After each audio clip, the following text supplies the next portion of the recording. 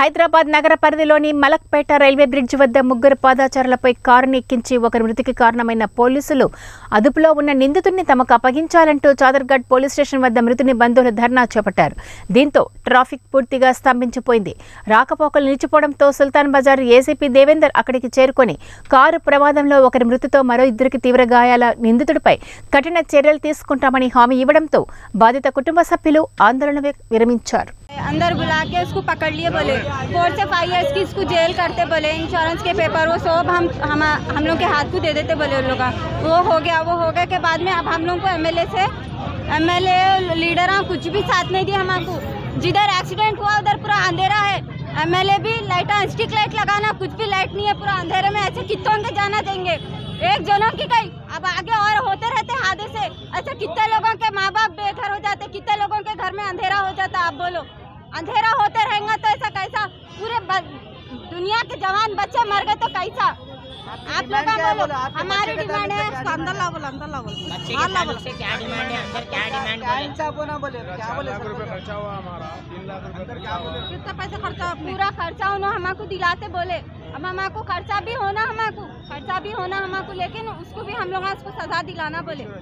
Commissioner Anjali Kumar से हमारी अदबन गुजारिश है उन्होंने हमको इंसाफ दिलाना। बस। और हॉस्पिटल का भी बोलो न्यू लाइफ का? न्यू लाइफ थम्बे हॉस्पिटल में भी बहुत लापरवाही करे। जब बच्चा खत्म हो गया बच्चा खत्म हो गया तभी बच्चा खत्म नहीं हुआ बोल के बिल पे बिल बनाते गए। हज़ार रूपए डाले तो देते बोले पचास हज़ार जब पचास हज़ार हमको पूछे हमरा पचास हज़ार नहीं है बच्चा होश में नहीं आ रहा उन्हें कुछ भी रिस्पांस नहीं दे रहा बोले हमरा तो रिस्पांस नहीं दे रहा बोले तो उन लोग क्या करे मालूम? हमरा पचास हज़ार पे नहीं बनते बच्चा रिस्पांस दिए तो हम बनते बोले। थोड़ी देर में आधा घंटा भी नहीं हुआ जब फ़ोन करके बुला के बोले बच्चे की डेथ हो गई बोल के।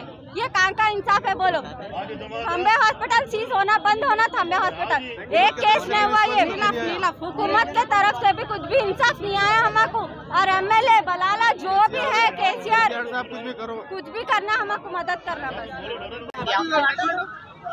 बोलो जो बोले बोलो अंदर का इंसान। अंदर वहाँ पे उसको पकड़ के लेके आए लेके आके हम लोग को बता रहे नहीं थे हमला ज़बरदस्ती करे तो उसको बता रहे। उससे पूछे नहीं करते लीडर भी हमारा कुछ साथ नहीं दिए। वहाँ पे अंधेरा होने की वजह से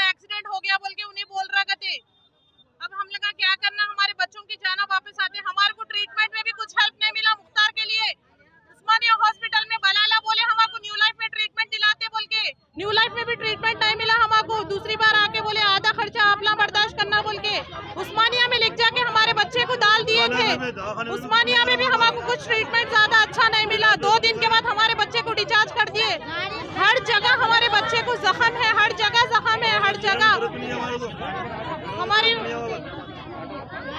हमको इन ఒక ముగ్గురు వ్యక్తులు రోడ్ క్రాస్ చేస్తున్నారు అఫ్రోజు అబ్దుల్ ముక్తారు మొహమ్మద్ సోయల్ అని ఈ ముగ్గురికి ఒక కార్ వచ్చి యాక్సిడెంట్ చేసింది దాంట్లో అప్పుడు మేము త్రీ థర్టీ సెవెన్ కేసు కట్టి వెహికల్ అబ్స్కాండ్ అయ్యాడు కొట్టి అతను పారిపోయాడు వాడిని మేము ఈరోజు పట్టుకోవడం జరిగింది. అతని పేరు రోహిత్ రెడ్డి అలానే నా చనిపోయారు శంకర్ రెడ్డి.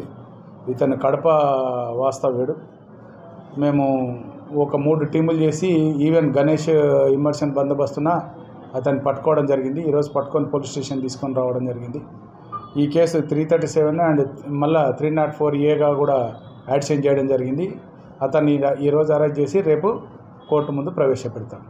దీని గురించి కానీ వాళ్ళ తల్లిదండ్రులు న్యాయం జరగాలని మా పోలీస్ స్టేషన్ దగ్గరకు వచ్చారు. వాళ్ళకి న్యాయం చేస్తాము అక్యూజ్ని రిమాండ్ చేస్తామని తెలియజేయడం జరిగింది. వాళ్ళు వెళ్ళి వెళ్ళిపోయారు. Thank you. బస్?